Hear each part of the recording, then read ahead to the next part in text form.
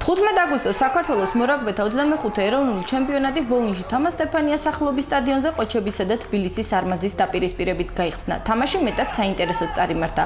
ყოჩები მატჩის დაწყებისთანავე უპირატესობას ფლობდნენ, თუმცა მოწინააღმდეგე საკმაოდ ღირსეული მეტოქი აღმოჩნდა. დაძაბული თამაშის მიუხედავად ანგარიში ყოჩების სასარგებლოდ 27-16 დასრულდა.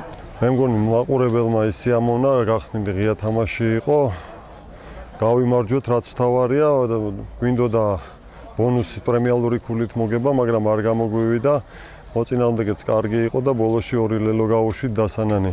მაგრამ ვეცდებით, რომ ვიმუშაოთ შეცდომებზე და აუცილებლად გამოვასწორებ იმას, რაც იყო ნაკლი და კიდევ უკეთეს თამაშს გვირდებით მომავალში. შედეგით მაყოფილი ვართ პრინციპში შეიძლება კიდევ უფრო კარგი ყოფილიყო.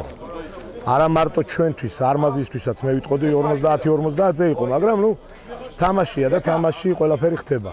ასე რომ შედეგით მაყოფილი ვარ და თამაშითაც თავისთავად გუნდმა ყველაფერი გააკეთა რაც შეეძლო.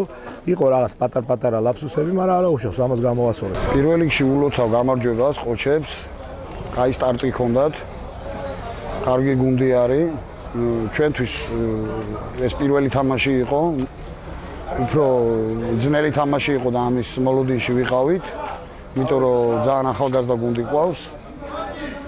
რა ვიცი, ჯამში კმაყოფილი ვარ თამაშით.